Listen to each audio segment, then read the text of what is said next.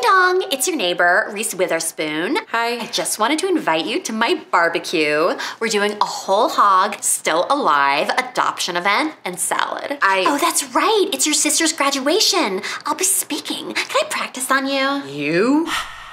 And together, we can build a brighter future. Kleenex? How? I know. Graduation on the one hand, barbecue on the other. How can I be in two places at once?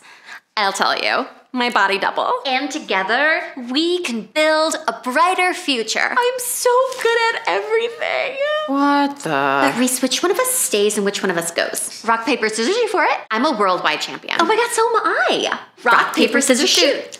Rock, paper, scissors, shoot. Rock, paper, scissors, shoot. Rock, paper, scissors, shoot. Rock, paper, scissors, shoot. Rock,